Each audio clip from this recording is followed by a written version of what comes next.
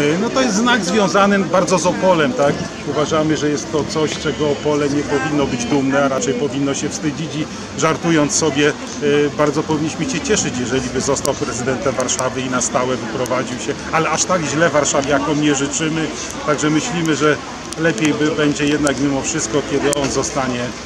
gdzieś takim lokalnym graczem politycznym i nie wejdzie do tego szerokiego nurtu, a to jest taki żarcik z jego znajomości Warszawy.